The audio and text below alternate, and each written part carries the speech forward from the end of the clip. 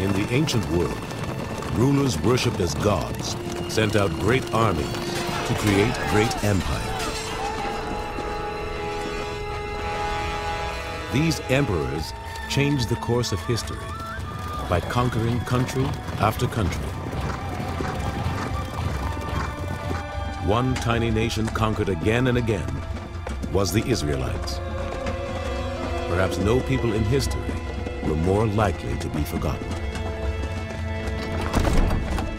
These were not just any people. These were the people of the book. The people of Abraham, the first to encounter the one true God. Of Moses, the only human being to see God face to face. And of David, warrior, king, and adulterer. The Israelite stories taught unique lessons about God. And in the hands of great rabbis like Hillel and preachers like Jesus of Nazareth, the Israelites' Bible would change how human beings understood what was right and what was wrong, and how they should treat one another. And against all odds, the Israelites would change human history as much as any empire that ever existed.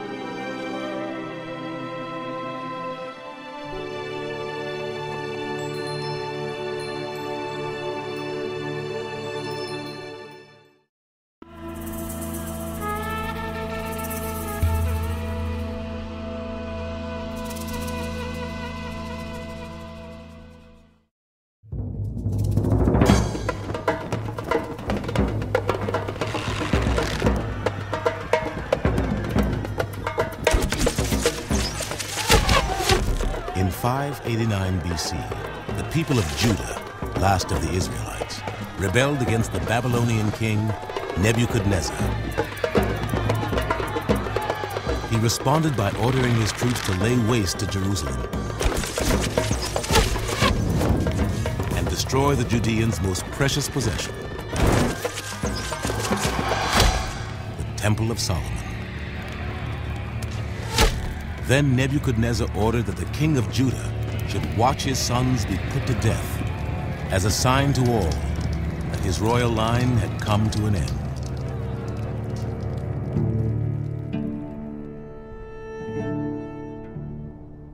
Afterward, the Babylonians led the people of Jerusalem into exile in Babylon.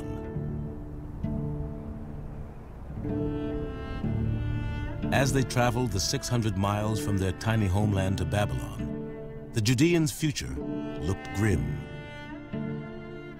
Only a few generations earlier, the northern tribes of the Israelites had been taken into exile and vanished forever.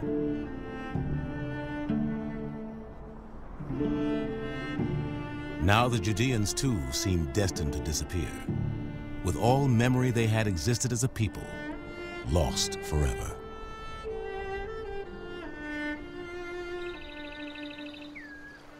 Their mood was captured in a poem from the Book of Psalms. By the rivers of Babylon we sat and wept when we remembered Zion. On the poplars there we had hung up our harps, for our jailers asked us to sing them a song. But how can we sing a song of the Lord in a strange land?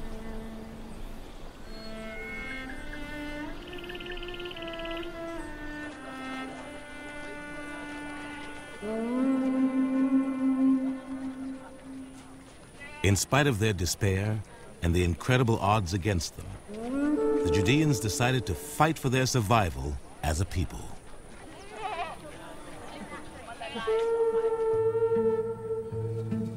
They chose to fight not with spears and swords, but by writing a book. In every spare moment they could find, the greatest of the Judean scribes began to rewrite and edit together stories about their past, which had been handed down to them by their ancestors.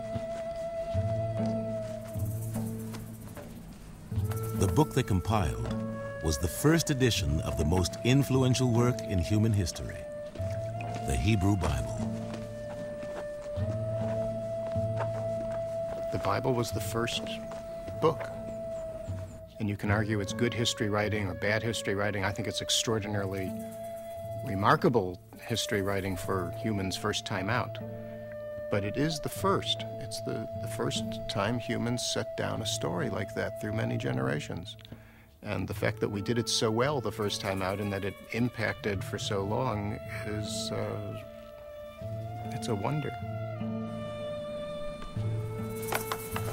The scribes were driven by what they saw as a sacred mission to bring the lessons taught by the stories alive for their fellow exiles so they would understand why they were in Babylon and how they could get home to Jerusalem. Their book was a guide to how the Judean exiles should live, not a literal history. Many skeptics today want to ask Are the stories in the Hebrew Bible true in any sense? They are true in some senses and not in others. In other words, the biblical writers want to expand upon events to, to shed light upon their meaning as they understood that meaning. We moderns say, but wait a minute, we want to know what really happened. So for us, skeptical or not, the question is often can stories which are not true in every detail nevertheless be morally edifying? My answer is yes. The Bible does not have to be literally true in every detail to be true in other senses.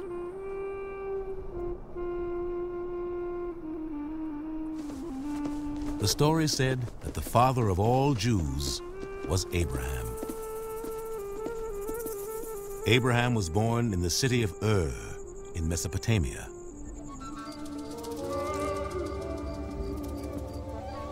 According to the Jewish book of tradition and law, the Talmud, the people of Abraham's land worshiped the sky, and each city venerated a different heavenly body.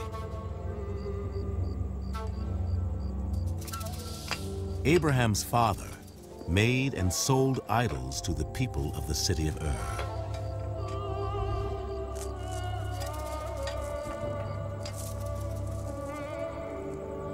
But Abraham could not accept his father's ideas about religion. There's a very famous legend that says that when Abraham was a young boy, his father, Terach, owned a shop. The shop was full of idols. One day he said to his son, Watch the store for a while while I go out. And when he came back, he found that every idol in the store had been smashed, except for the largest idol that had uh, a wooden staff in its hand. The father said to Abraham, What went on? I left you in charge. What happened? Abraham said, Don't get mad at me. The largest God here destroyed all the others. His father said, What are you, nuts? They're wood and stone. And Abraham said, Aha, that's the point. They're just wood and stone. And that story comes to tell us that it was Abraham who was the first one to discover the idea that there is one God in the universe. That God created the heavens and the earth, and not the other way around.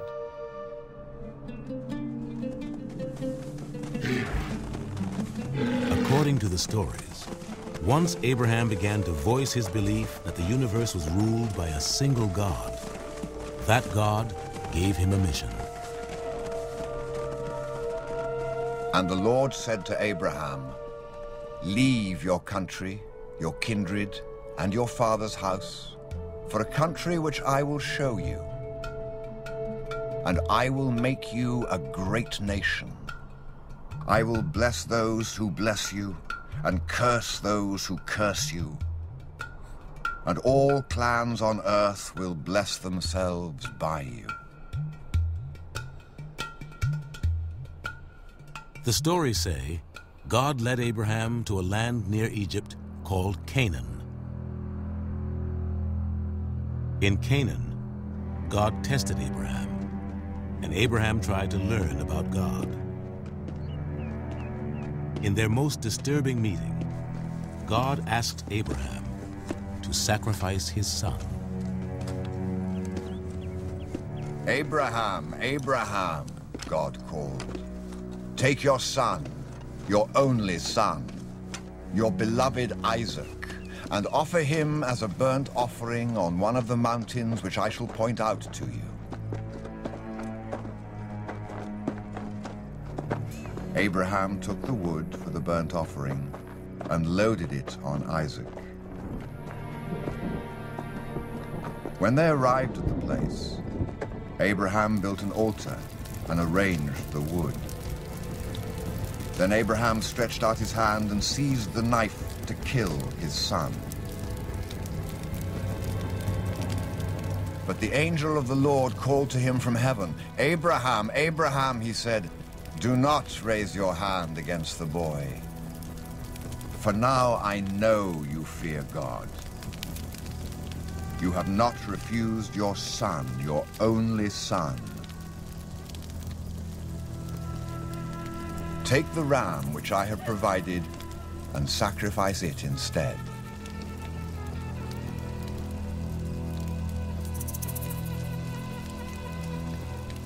I regard this as a game of chicken.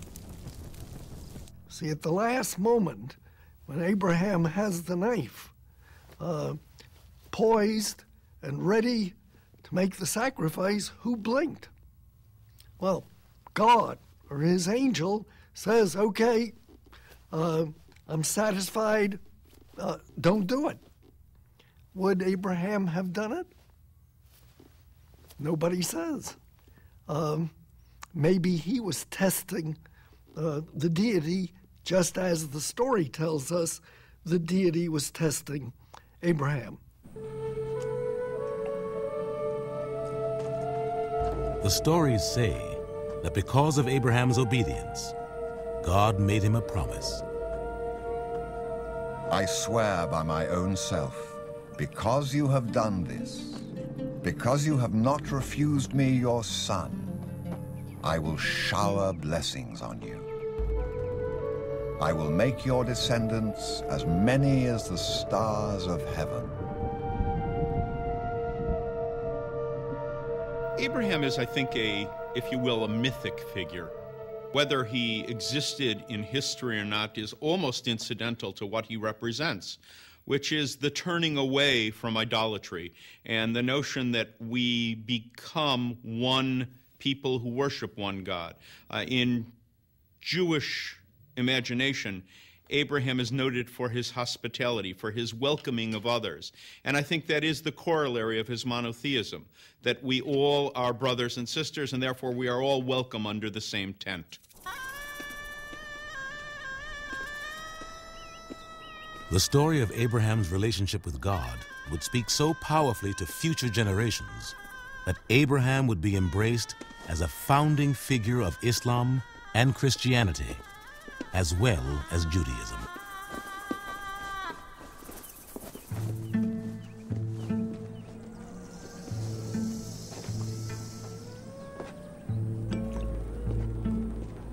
But for the scribes in exile in Babylon, simply writing down stories about their ancestors was not enough. Their great challenge was to make sense of their own world. How had the people that God promised Abraham he would make a great nation wound up on the verge of extinction in Babylon?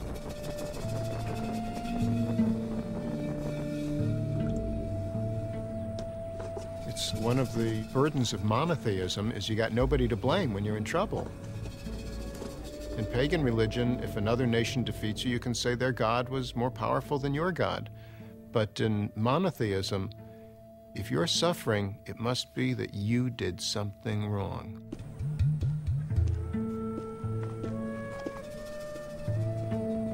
The scribe's book was, above all, an explanation to their fellow exiles of what the Israelites had done to lose God's favor. The story began with the life of the man to whom the scribes devoted more words than any other. His name was Moses, and he was one of the most unlikely heroes ever portrayed. According to the Bible, Moses' ancestors had fled from Canaan to Egypt during a famine and been enslaved there. Then Moses had to flee Egypt after killing an Egyptian who was abusing an Israelite slave. In the desert, he married a nomad and was given the menial job of tending his father-in-law's sheep.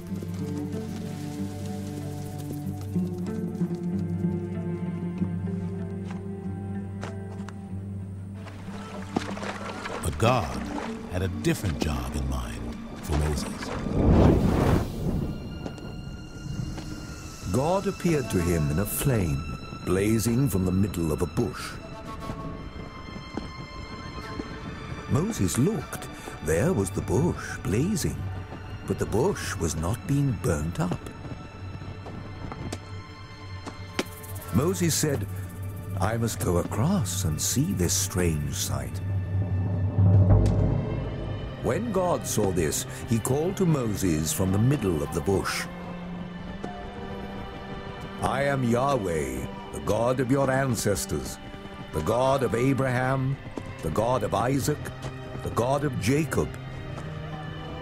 I have seen the misery of my people in Egypt, and I am sending you to Pharaoh, for you to bring my people, the Israelites, out of Egypt.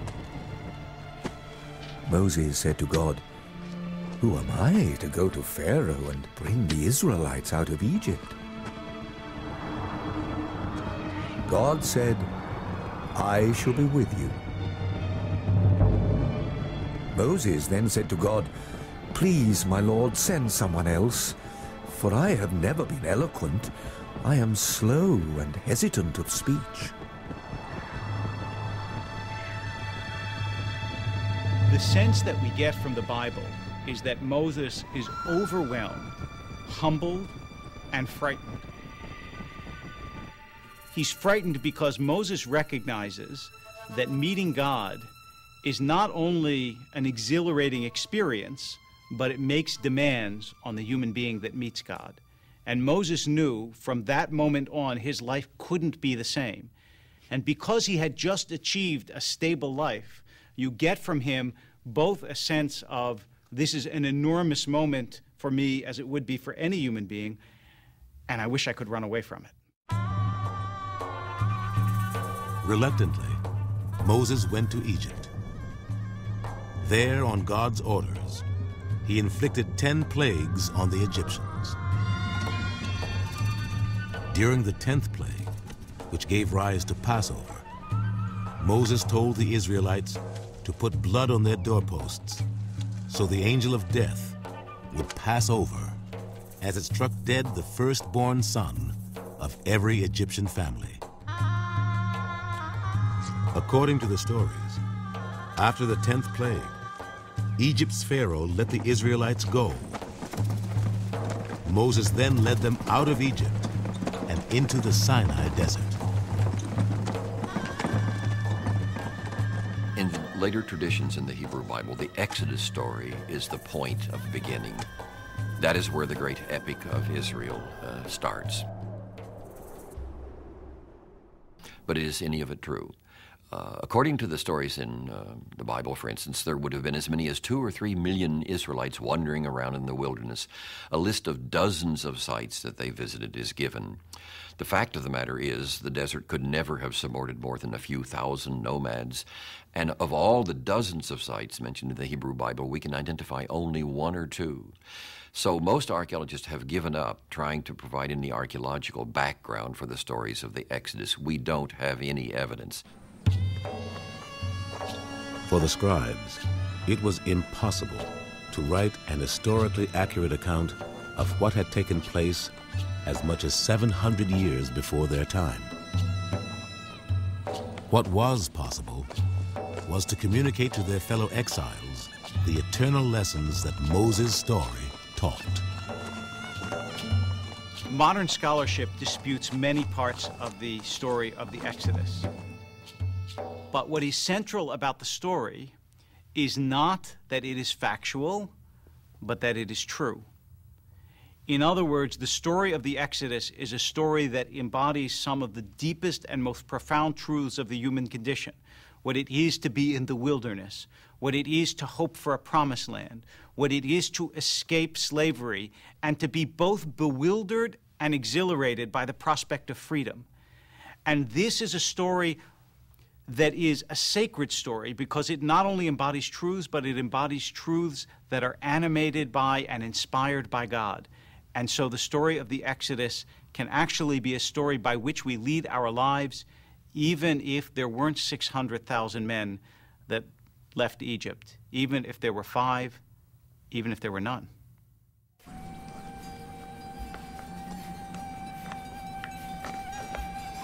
To the writers of the Bible, the most important truths of all were found in the story of how God gave Moses the laws that his people were to observe for all time.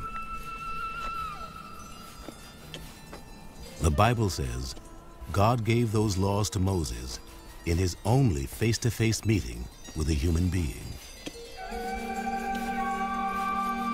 The Lord descended on Mount Sinai and called Moses to the top of the mountain, and Moses went up. Then God spoke all these words.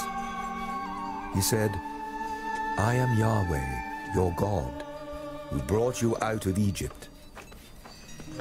You shall have no other gods to rival me. You shall not make carved images, or bow to them, or serve them. You shall not misuse the name of Yahweh. Remember the Sabbath day and keep it holy. Honor your father and your mother. You shall not kill. You shall not commit adultery. You shall not steal. You shall not give false evidence. You shall not set your heart on any of your neighbor's possessions.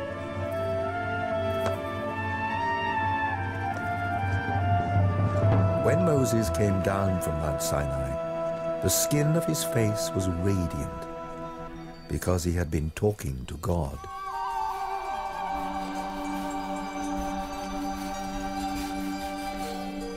The revolution in the Ten Commandments was that God cares not so much for how human beings treat God. That was, after all, the pagan ideal. You have to sacrifice to us the right way. You have to watch all your observances because the gods will treat you well if you treat them well.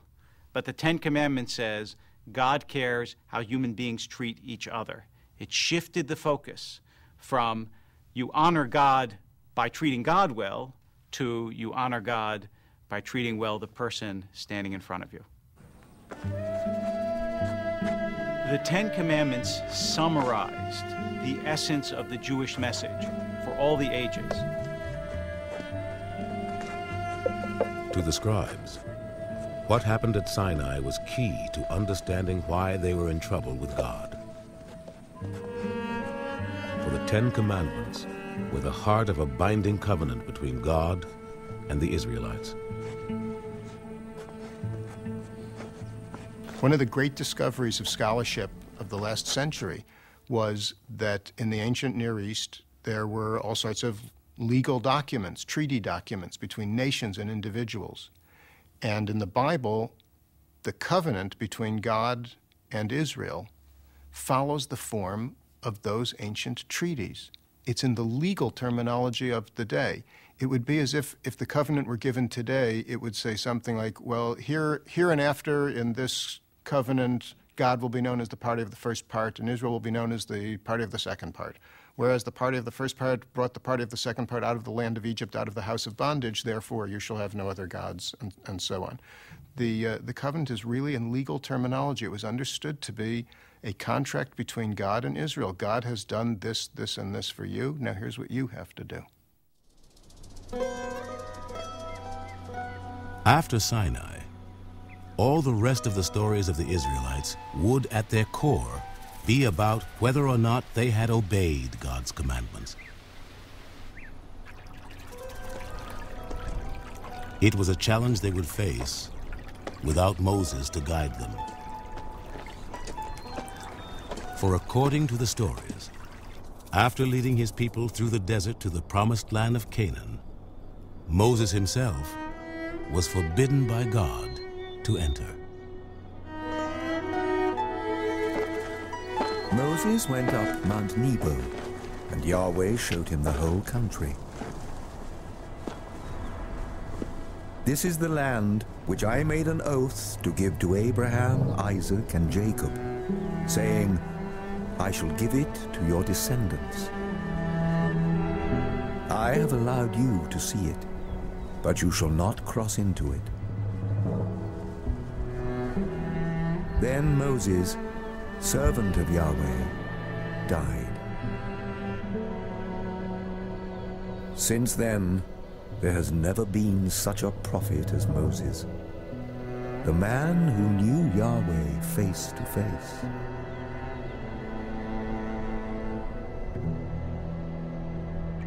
Here is somebody who didn't want to be a prophet in the first place, was forced to it by God, all with the aim of entering the promised land, and now, at the very foot of the promised land, is told you cannot enter and you must die. And the pain of that moment, and the sense that we have that Moses' life, for all its triumphs, was ultimately a life of frustration, is almost unbearable. And the only thing that makes it possible for the reader to go on is that the Bible ends by saying that Moses saw God face to face. So even though Moses didn't get to see the land, which was the aim of his life, he did get to see God, which the Bible tells us is the aim of every life. The stories say that after Moses' death, the Israelites invaded the land of Canaan. God made the walls of Jericho fall before them, and they swept the Canaanites from the land in a series of great military victories. But according to historical evidence, the Israelites did not invade Canaan at all, but were in fact Canaanites themselves. Why would archaeologists today argue that the earliest Israelites are not newcomers to Canaan at all, but indigenous peoples? How do we know that? We know it from such things as their pottery, which is in the old late Bronze Age Canaanite tradition. There is nothing new in the pottery of these 12th century settlements that we call Israelite. They're making a style of pottery that local people had made for centuries. We also know that the oldest passages of the Hebrew Bible describing Israelite religion make it look very much like Canaanite religion. So the continuities between Canaanite culture of the late Bronze Age and so-called Israelite culture of the Iron One are very striking.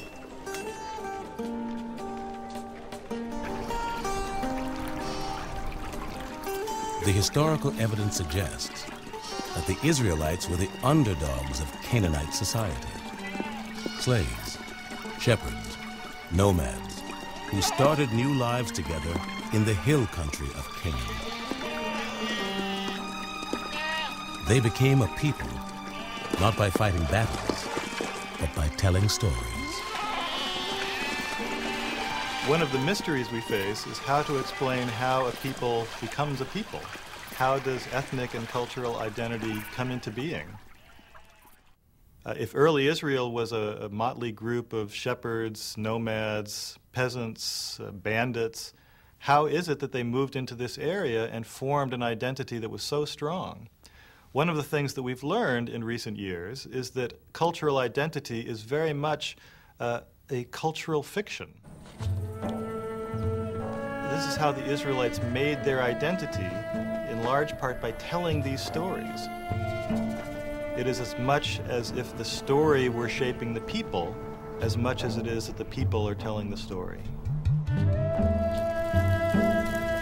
The stories told by the Israelites were well suited to inspiring and guiding a new community, for they contained an incredible richness of detail about the lives and interactions of human beings.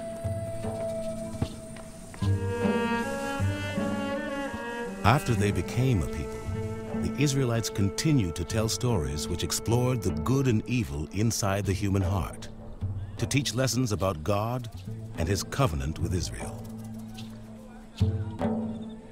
One of the greatest portraits ever of a human being, in all his strengths and weaknesses, was the story of King David. David is a story of a human being that really throbs with realism. It's not just a hero story, it's a story of a highly dysfunctional family and a very uh, flawed man, but a man uh, who could not be ignored. And that inspired some early literary genius, perhaps the first literary genius in history, to set this man's life down on paper or, if you will, on parchment. In the first story told about him, David was only a peasant boy. Until one day, God spoke to the prophet Samuel. I am sending you to Jesse of Bethlehem, for I have found myself a king among his sons. Samuel journeyed to Jesse's home to search for the future king. Samuel looked at Jesse's eldest son, but Yahweh said to Samuel, Take no notice of his appearance or his height, for I have rejected him. I do not see as human beings see. They look at appearances, but I look at the heart. One by one, God told Samuel to reject seven of Jesse's sons. Samuel then asked Jesse, Are these all the sons you have? Jesse replied, Only the youngest is left. He is looking after the flock. God said, Get up and anoint him. He is the one. The Israelites already had a king named Saul, but he was a tormented man who had angered God. Unaware of David's destiny, Saul brought the young boy into his palace to play the harp to soothe his spirits. Soon, David was like a son to Saul. Then one day, word reached the palace that the greatest warrior of the Philistines, Goliath, had challenged the Israelites to send someone out to fight him, one on one. No one dared to take up the challenge, except for the king's young harvest. With his sling in his hand, David went to meet Goliath. The Philistine looked at David, and what he saw filled him with scorn, because David was only a boy. The Philistine said to him, Come over here, and I will give your flesh to the birds of the air and the beasts of the field. But David answered, You come against me with sword and spear, but I come against you in the name of the Lord God. For the writers of the Bible, the story of the underdog, David, killing Goliath was about far more than just one battle. Despite certain fantasies they entertained of being a powerful people and being more numerous than the stars in the heavens and so forth, uh, they knew that they were tiny people. And there were these vast empires to the south and to the east that could at any moment overwhelm them. So again and again, they stress the idea that there is something more important in the affairs of men than physical power. After David killed Goliath, his fame spread throughout Israel. King Saul's love turned to jealousy, and he tried to kill David again and again. David fled Saul's court and became an outlaw. Then, one night from his hideout, David spotted Saul and his army. To David's men, it was the perfect chance both to save David's life and make him king.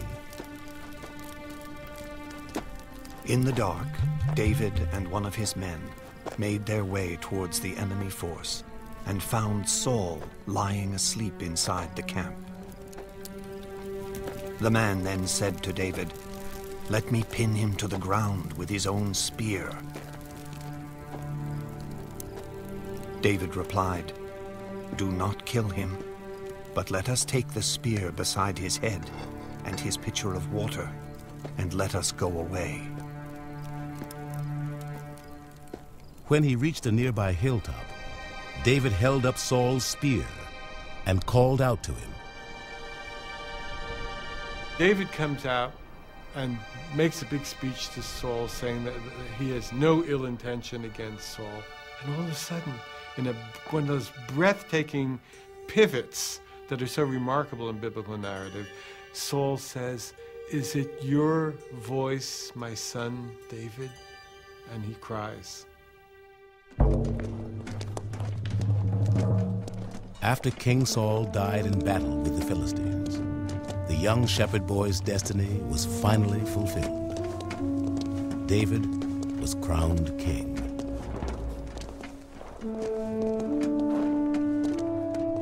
But using his new power wisely turned out to be David's greatest challenge.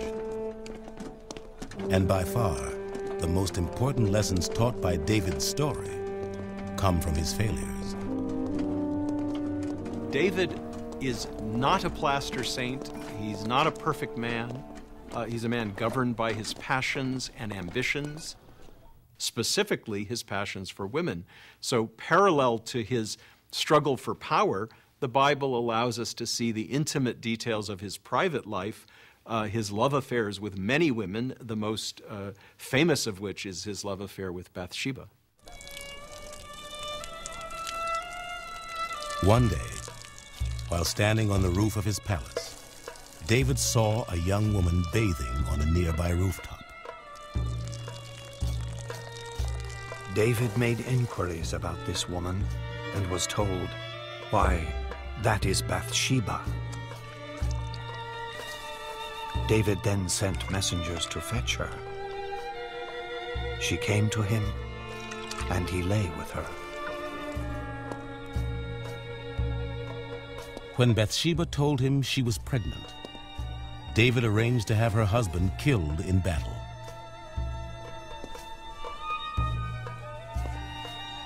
He looks out the window of the palace and he sees this beautiful woman bathing on the roof uh, of a house below him, and that's where he gets into trouble. But the trouble is not just sex, the trouble is his bumbling attempts to cover up the adultery, and when he can't do that, to get rid of the husband by murder. Once he's done that, everything starts to fall apart in his life. After David married Bathsheba, God sent a prophet to confront him. And David confessed to his sin. In the ancient world, the king is the law. And the key moment of this story of David and Bathsheba is when David stands there and says, Yes, I sinned and will be punished. Because it is at that moment that we realize that Israel's revolution has won. That in fact, David recognizes that God is above all human beings, and that no human being, not a king, not a warrior, not even a prophet, can be above the law.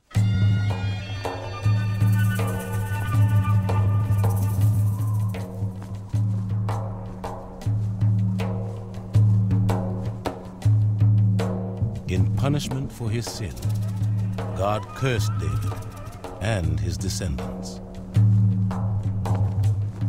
For this, your household shall never be free of the sword. You have worked in secret, but I shall work for all Israel to see. In his later years, David would be betrayed by his favorite son and grow to be a frail and lonely old man.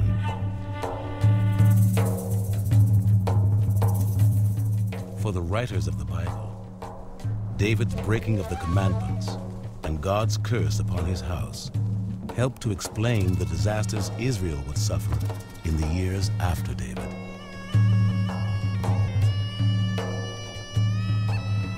The Bible says, and the archaeological record confirms, that in 720 BC, the Assyrians conquered the northern ten tribes of the Israelites and deported them to the far-flung reaches of their empire. Before long, they assimilated with their new neighbors, and most of the Israelites were lost forever from the pages of history. Soon after, the Assyrians began to threaten the last remaining tribe of the Israelites, Judah.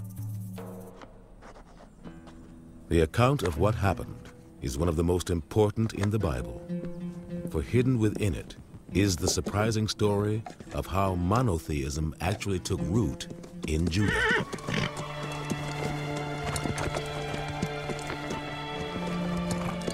In 640 BC, the land of Judah ruled by King Josiah. Josiah was desperately afraid that his people were unprepared to face the threat not just from Assyria, but from Egypt and Babylon. Most Judeans were still rural people who cared nothing about Jerusalem and its king. They also knew little about Israel's covenant with the one God. In fact, many Judeans appear to have worshipped a goddess named Asherah, who they believed was the God of Israel's wife. From a superficial reading of the Hebrew Bible, you would suppose that all the early Israelites were monotheist.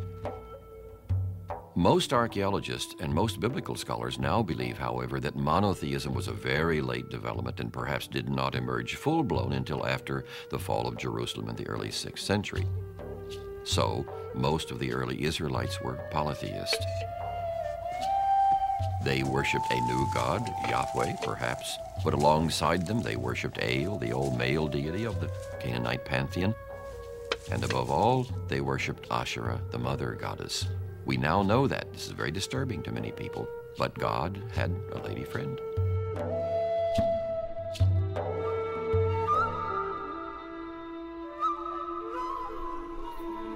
But King Josiah and his allies among the temple priests in Jerusalem decided to rally the nation around the belief in one all-powerful God. And so, in 622 BC, they claimed that deep within the temple, they had found an unknown book written by Moses called Deuteronomy. While they were cleaning out the temple, suddenly someone comes running out to the high priest. Look, we found a book in the temple. Now, from the language of, in which this book is quoted, we know that we are dealing with the book of Deuteronomy. Contemporary scholars believe that the book of Deuteronomy was actually written around that time and placed in the temple to be discovered in order to motivate the reform. The book of Deuteronomy banned the worship of Asherah and other pagan gods.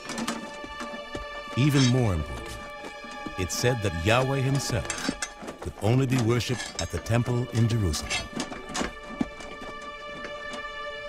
And so, according to the Bible, Josiah sent his troops to the mountaintops, where Israelites had been making sacrifices for centuries. Josiah destroyed all the shrines on the high places which the kings of Israel had built to provoke Yahweh's anger. All the priests of the high places who were there, he slaughtered on the altars. And on those altars burned the human bones.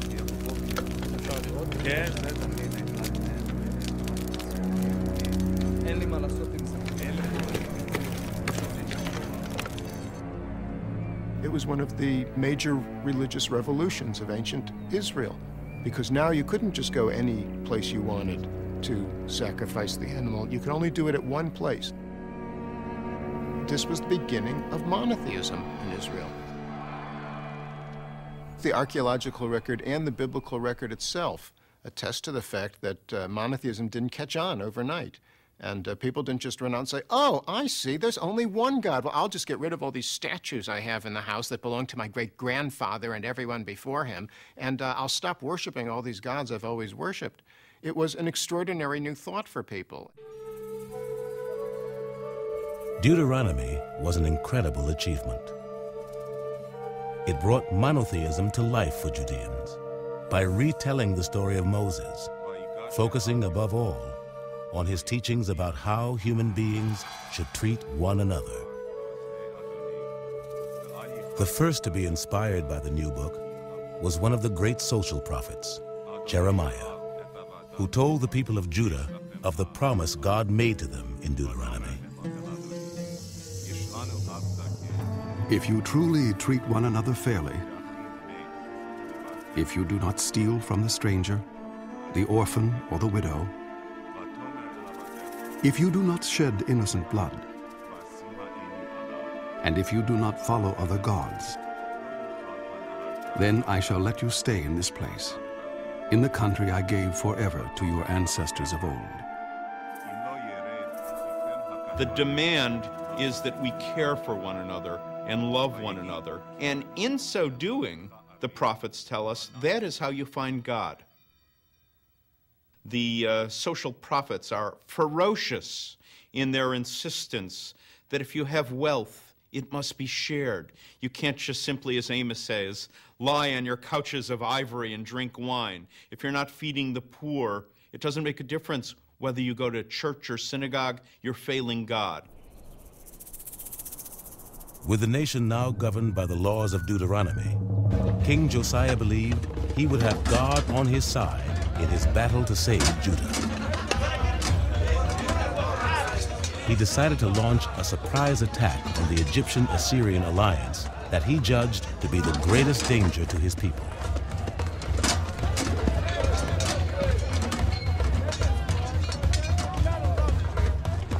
In 609 BC, Josiah and his men ambushed an Egyptian army. In the battle that followed, the Judeans were routed, and King Josiah was killed.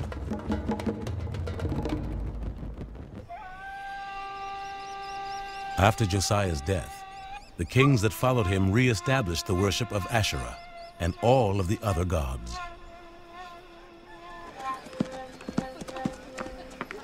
In response to their abandonment of monotheism, the prophet Jeremiah told the people of Judah that he had received an ominous message from God.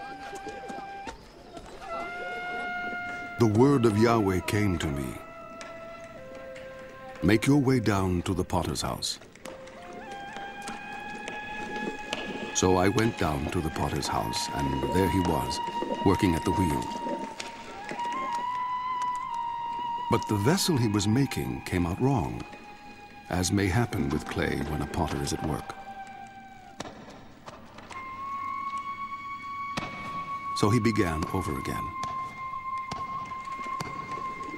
Then the word of Yahweh came to me. House of Israel, can I not do to you what this potter does? Listen, I am preparing a disaster for you. According to Jeremiah, God was so angry he decided to send the Judeans into exile and start over.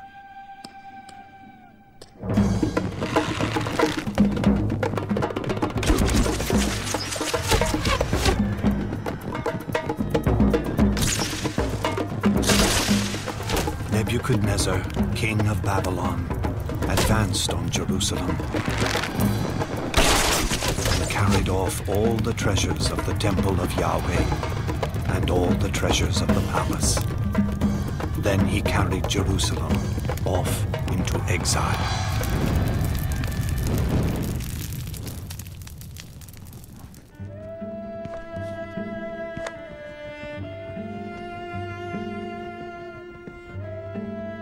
With the Babylonians' conquest of Judah, the scribes had come to the end of their story of how the chosen people were sent into exile. Yet even with this new Bible in their possession, the Judeans seem destined to disappear, like all the other tiny nations uprooted from their homelands. For in a world where empires swept away all who stood in their path, how could a book of stories save a people from extinction?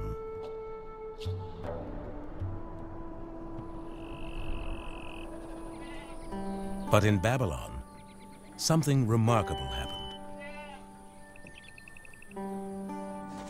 As the Judean exiles read and studied the Bible, their vision of who they were was transformed. These would be great stories even if they were just stories about the past. But for the people of Israel, these stories were their story. So when you learned the story of uh, Israelites becoming free of slavery in Egypt and experiencing extraordinary things on the way out, you didn't just read that as a great story to tell the kids. It was your own belief in the power, the importance of liberation, of becoming free. So it's not just history, it's not just memory, it's a life, it, it's, it's part of you. The exiles also came to a new understanding of why they were in Babylon from reading the Bible. It contains a record of the covenant between the people of Israel and their God. But it also lists the penalties for violating the covenant. And among the penalties that are listed is exile. Here you have a historical book that tells a religious story. It's not a real historical book. It's a it's a it's it's a vehicle expressing a religious philosophy. But the religious philosophy is God is fair, and if you are punished, there's a reason for it. The stories also contained another message. For those who accepted their guilt and changed their ways, there was hope. If you return to your God, if with all your heart and all your soul you obey his voice, then he will bring back your captives. Should you have been banished to the very sky's end, your God will gather you again, even from there.